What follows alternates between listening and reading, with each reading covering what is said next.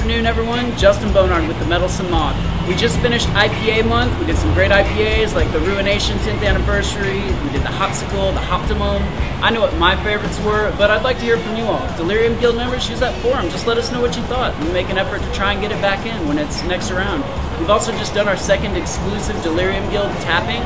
Members, give us a shout. Let us know what you might like to see up there on that draft board just for you. However, don't tell me Westvleteren 12, Pliny the Elder, Dark Lord. Sorry, just ain't gonna happen.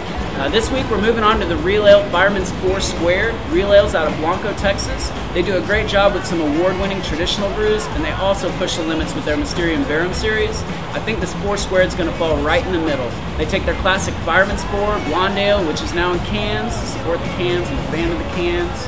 Uh, but they're going to beef it up. They're going to increase the malt, make it 7.2% ABV. They're also going to use some additional hops like Amarillo and Hercules. And we have a cask of it, and the casks are specially dry hopped with Zythos hops, which is a blend of Northwest IPA hops.